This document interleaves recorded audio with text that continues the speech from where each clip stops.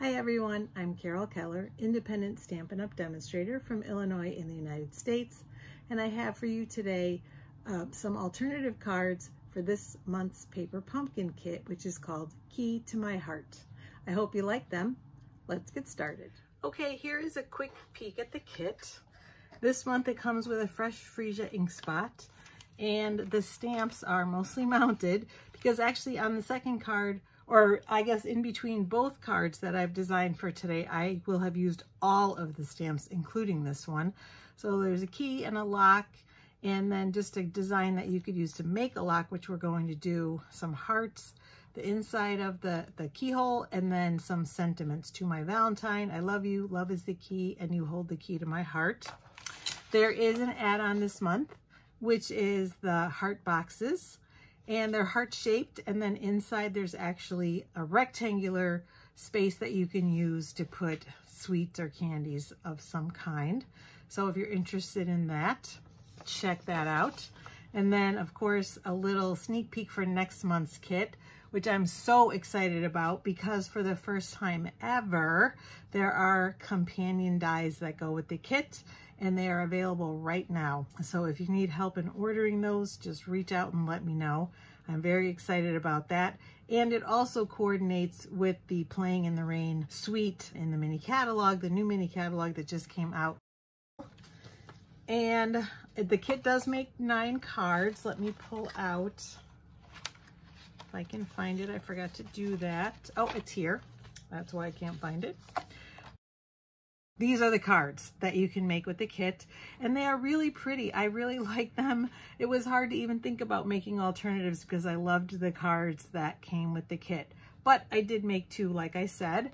Remember always to double check that you have all of your supplies that come with the kit. And then this one inspired me for my first card that we're going to make today. And I honestly, they used the envelope here, but I didn't even look closely enough to see that when I designed mine, but I did use the envelope. And then the second card uses just the stamps so that if you want to make the cards as is, you can still make more cards using the stamp set. All right, so let's get started with that. Here is the card that I designed, the first one. And like I said, it uses the envelope because if you've watched any of my other videos before, you know I love to do that. So I will bring it in and show you what I did.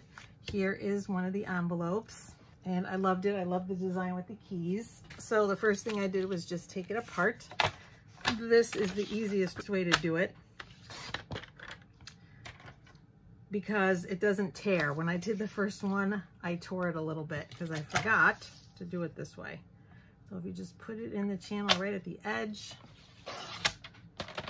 then you just take off the tiniest little snip and then your card opens up. So we're gonna cut off the sections that we don't need. We're gonna cut it down to size. And in this case, it's four inches by five and a quarter inches because we're gonna make it so that um, there's a mat behind it. So let's see, we can do four inches this way. And I wanted to use the, as much of the dark as possible so I'm going to take off some of the light and we'll measure that at five and a quarter inches. And now we have our surface that we're going to work with, our pattern paper. I am using also a basic white card base. And then I took one of the cards from the kit and I cut this side off to use it as the background. If you wanted to keep the card whole, you just use a piece of fresh freesia and you can still make the card that comes with the kit because we're keeping that part. You could just put it on a basic white card base if you wanted to. And the only thing is for what we used with the lock and key, those would not be obviously available to use on the cards if you do this alternative. But you'll see, like I said, for the next one, that that won't be the case. You can make as many of the next one as you want and you won't be, well, not quite as many. I'll be using some labels from the kit, but other than that, and you could certainly substitute another label if you want, but you could make lots and lots of cards if you want to. All right, so the first thing we're gonna do is we're gonna take this piece and put it on the card front with some multi-purpose liquid glue.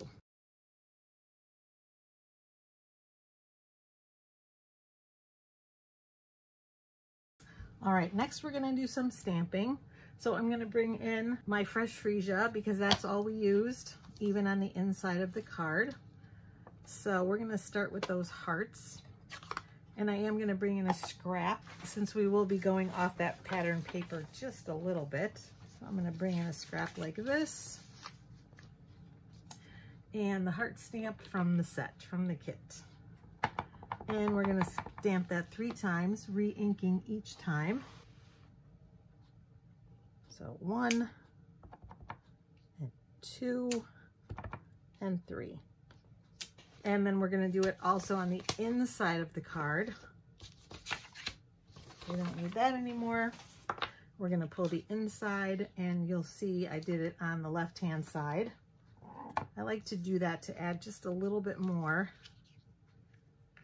Step it up just a little bit. And there's our heart stamp.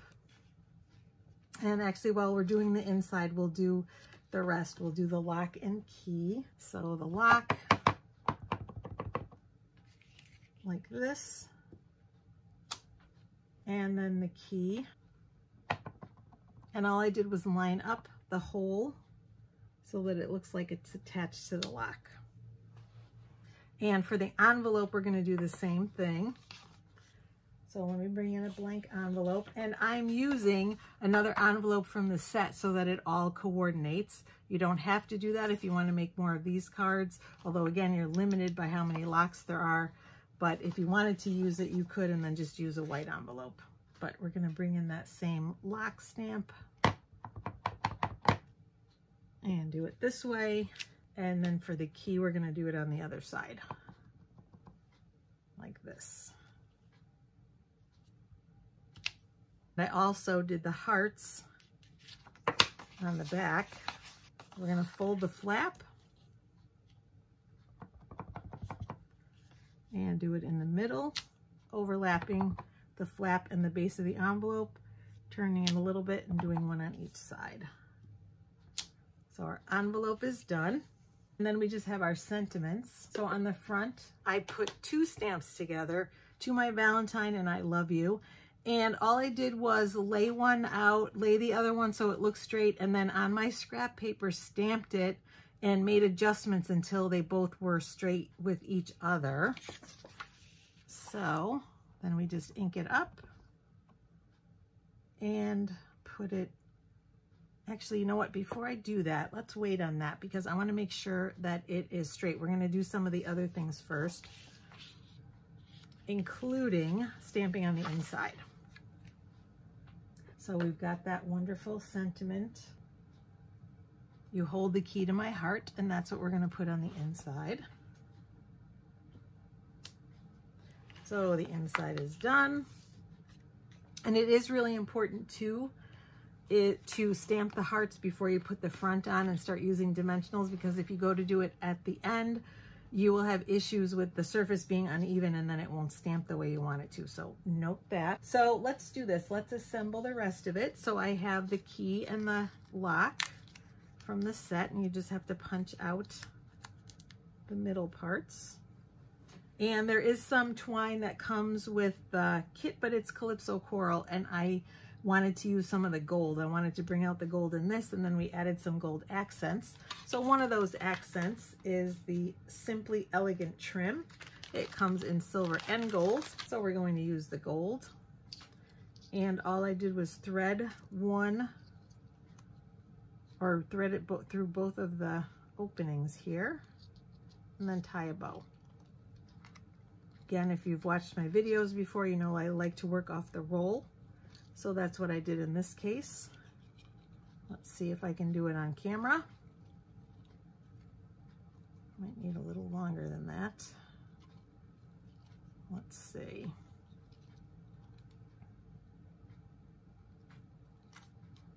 Ah, the pressure of being on camera. I do want it a little longer.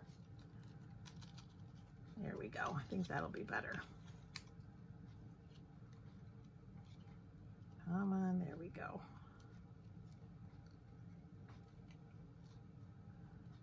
And so I'm just going to adjust my bow.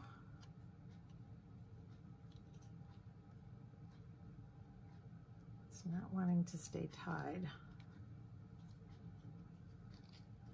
I know I'm making it look much harder than it is. but this is a little finicky, this trim.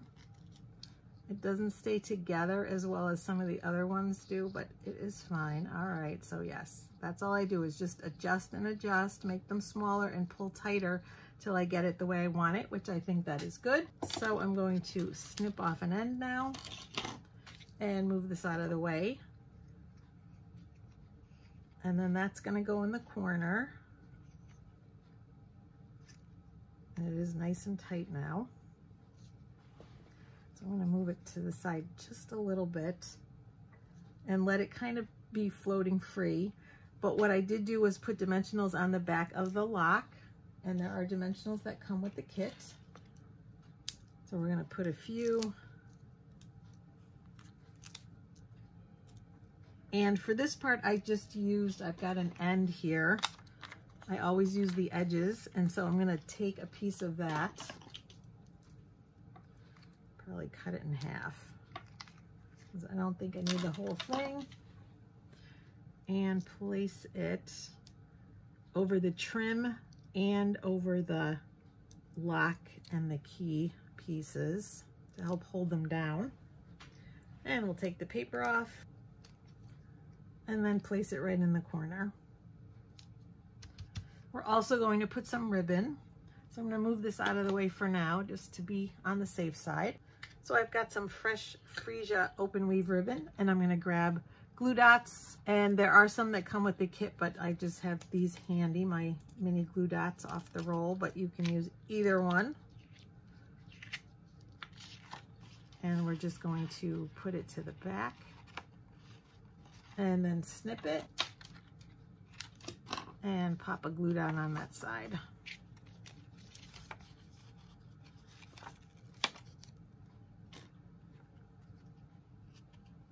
It'll go right under the hearts. And now we can put it on the card front. And actually, I probably, again, should have done that before I put the lock and key on, but I don't think it'll make too much difference for this. I mean, I can feel that it's sort of bumpy because it um, is taller where the the key is that has the dimensionals, but it shouldn't matter really and we'll place it here. Yeah, it doesn't make any difference. I did also then put a glue dot underneath here to hold it in place. Just using my fingernail to get it there. And then I'm gonna make a bow from the ribbon. Again, just working off the roll. Hopefully this will be quicker than the other one. but I use the same procedure every time. Make the bow and then adjust the loops according to how big I want it to be.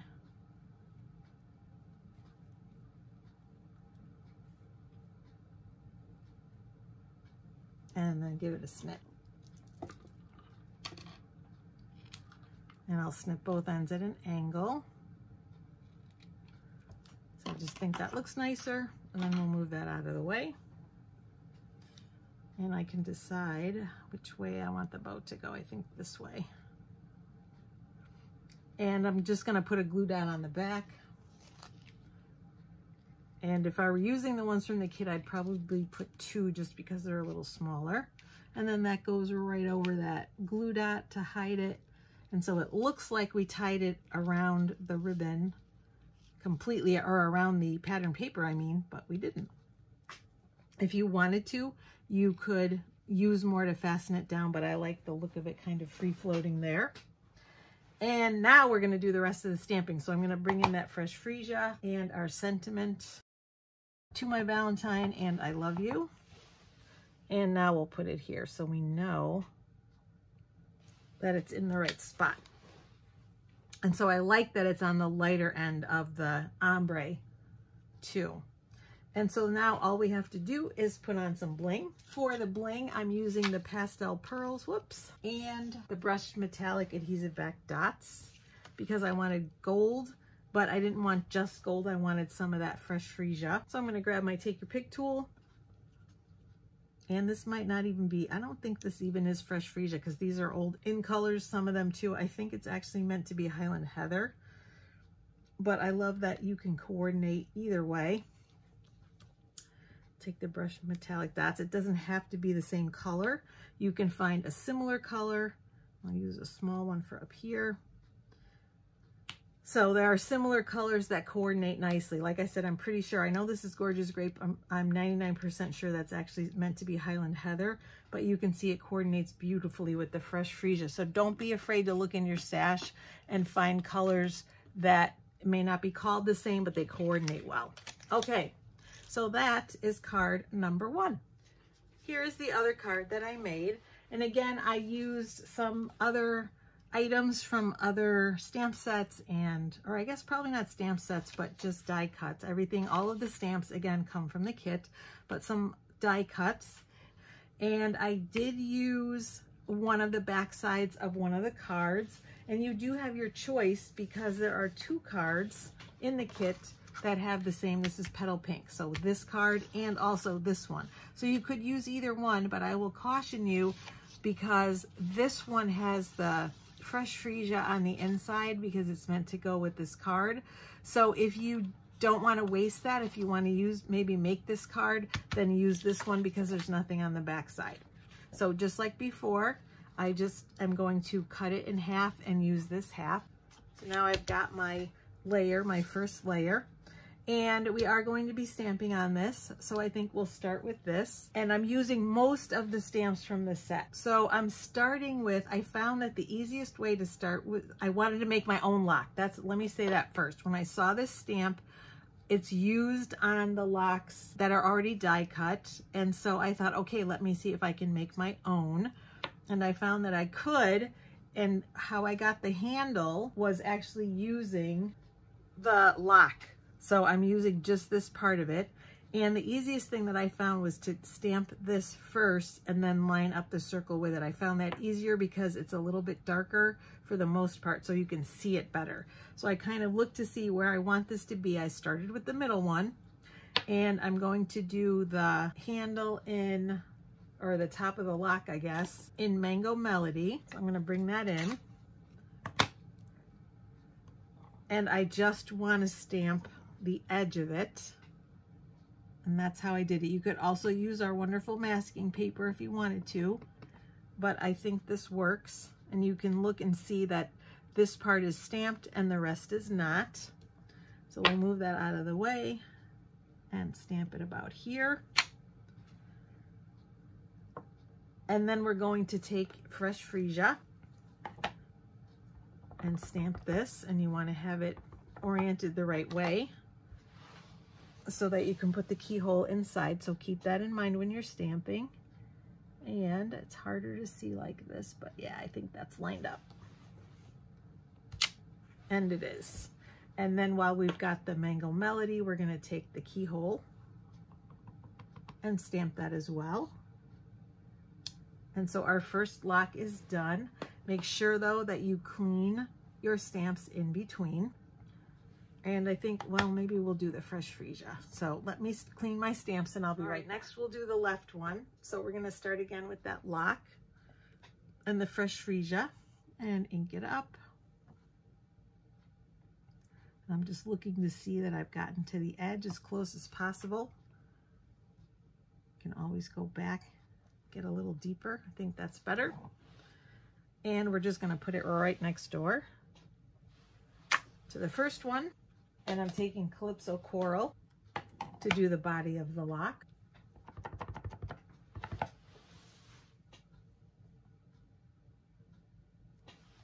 And those are going right next to each other. And then last but not least, the keyhole.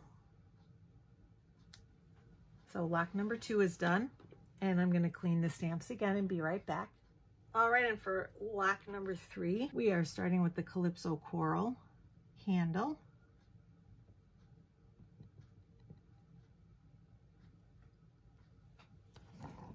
It's not inking evenly. I'm going to move it this way. I think that looks better.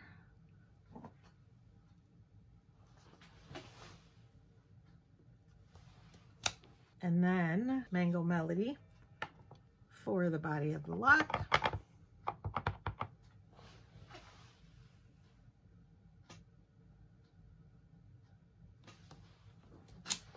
And then the keyhole in Calypso Coral. So now the hard part is done. We have our locks and on the inside, I stamped again to my Valentine I love you in the Calypso Coral. So while we have that, I'm going to do that. So I've got to bring in my basic white card base.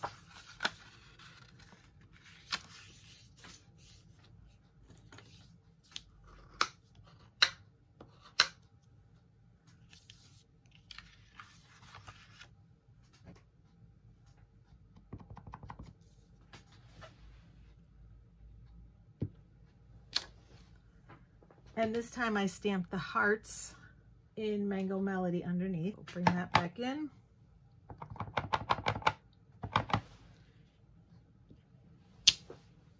And I think that's all I did on the inside, yes. So the inside is done. And the only other thing we have left to stamp is the label on the front. And I use this one. So there are four of those and four of these, and you could even use these. So there are 12 altogether. And of course, you could just cut a basic white strip, especially since the outside edge is the same color as the background of the card, which is petal pink. So it does get lost in there a little bit. So you could easily just cut a strip of basic white and use that. But we're gonna bring in fresh freesia and our sentiment. Love is the key. And we'll move this aside for right now. And now for the rest, I die cut some hearts from the Brushed Shapes dies, and I did put adhesive sheets on the back first. It's less important for the small hearts, but it is nice for the large one. So I die cut that in Calypso Coral, Mango Melody, Fresh Freesia, the same colors that we've been using. And then, in addition to that, I stamped the keys in this is uh, Mango Melody on Mango Melody in Fresh Freesia on Fresh Freesia in Petal Pink on Petal Pink because I didn't want to use the Calypso Coral again since I wanted some contrast with that.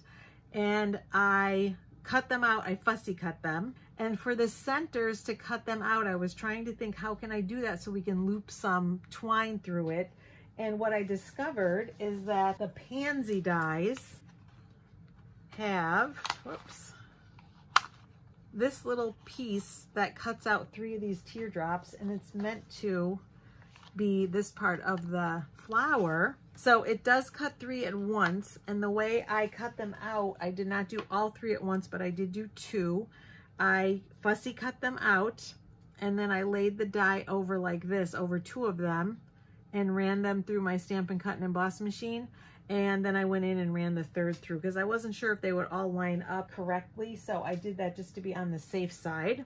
And that was how I ended up with my three keys. So let's finish our assembly. So I'm taking my multi-purpose liquid glue.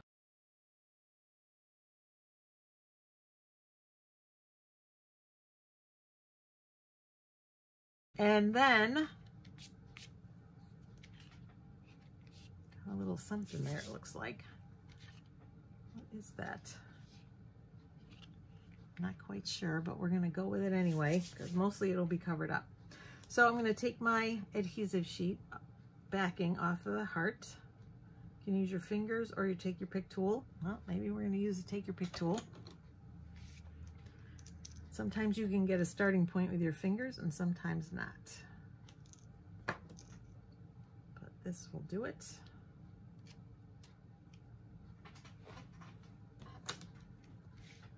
And we're going to put that in the center.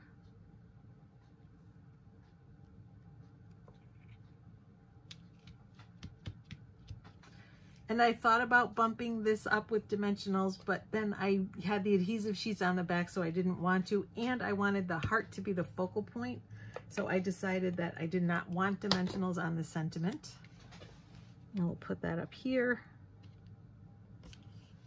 And I think I'm going to see if I can get that off with an eraser. I'm not quite sure what it is. So let me work on that and I'll be right back. All right, much better. It must have been a little bit of a pencil line, so I got that off of there.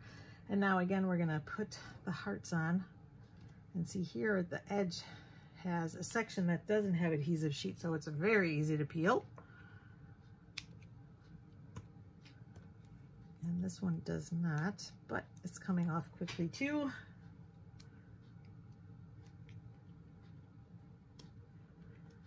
And then for the keys, again, the kit does come with twine.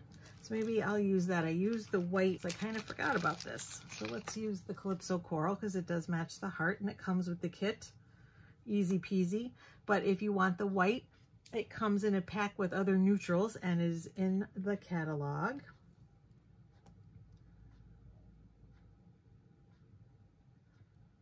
And I just layered them. And put the twine through.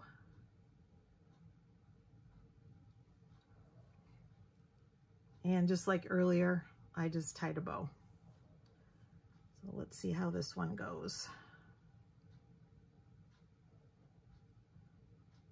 I like to do it on camera because I don't want people to be afraid of tying bows. Sometimes it just takes a second try, but it's usually not too bad. These are small, small loops, so that makes it a little more challenging. Let's see if I can get it through there. Yeah, I need to make the loop bigger. The bigger the loop, the easier it is to tie it. Let's try that again. Of course, it's getting caught around the keys. Note to self, maybe I do want to cut this down. Here we go. There we go. And again, move the, the loops a little bit and get it nice and tight and then snip it.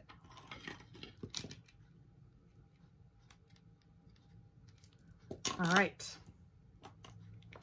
Yeah, I think I do. Well, I like the white too because there's white in the label. So either one I think works.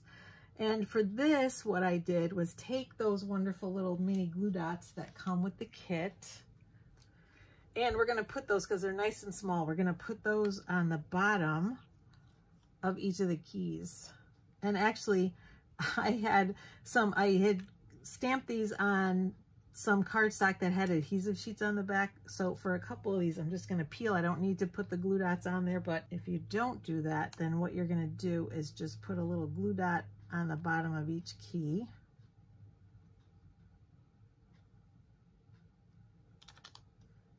All right, this adhesive is not cooperating.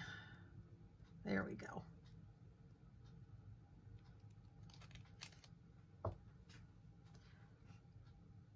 And so I just need a glue down on the back of the petal pink one, but you would put one on all three. And I'll show you why in a minute. Take that backing off. Because this way you can lay the keys out and make sure that they all show. So if you put the glue dot on the bottom, you can place them so that they stay in one spot. And so I'm going to put this, oh, and you need a glue dot again on the back of the bow. So let's grab that. It helps it to stay tied and it also keeps it in place. Take the backing off. And now we'll put that bow right in the center of the heart and layering the keys. We'll move them to the side a little bit and then we press those glue dots down or in this case I've got like I said some adhesive sheets and there we go. And then just a little more bling. Now for this one I used the Iridescent Pearls Basic Jewels and I'm using the larger ones but you can see they're not white. I wanted to match the colors so I'm bringing in my blends. So I've got my dark fresh freesia and I'm using the thicker end to color one. And then I've got dark Calypso Coral. So again, I wanted to match the colors that are that I'm using on the card. But then for the Mango Melody, I don't have a Mango Melody blend. I don't think there even is one, but I'm not 100% sure. But I think it would be probably too light. I tried several of them. I tried Petal Pink, I tried the light pumpkin pie. They just didn't show. They didn't color the pearl enough to really show. So what I found did work was the dark pumpkin pie. And even then, it's still pretty light, so it looks very close to Mango Melody. So like I said, just kind of adapting and using what you have, it will still work. Then I'm gonna grab my Take Your Pick tool and I just left it for a couple of seconds to dry. It's pretty quick. And we're gonna place the pearls around the card. And so obviously you can color them any color you need. I love that. It coordinates with whatever you're doing. And there's card number two. I hope you like them. What do you think? Let me know in the comments which twine you like better. Do you like the little contrast or do you like the fact that it coordinates with the heart behind it? And I'm going to bring in card number one, which is this one. And again, I hope you like them. Thank you so much for joining me every month. I apologize that I missed last month, but with the holidays, it was just too crazy. I was, my Christmas cards were late and I knew I would never have time to do that and paper pumpkin alternatives. So I did not get to it last month, but I'm happy to be here this month with these alternatives. So yes, let me know what you think in the comments. Give me some love. I appreciate you watching every month. Remember to check out my other videos tips, techniques, other cards, scrapbook pages, home decor items. I have a lot of beginner videos now that are up on my channel, so check all of those out. And then please join me again next month for the next alternative cards for the February kit, which I'm really excited to get, especially with those dies. Thanks for joining me. Happy stamping!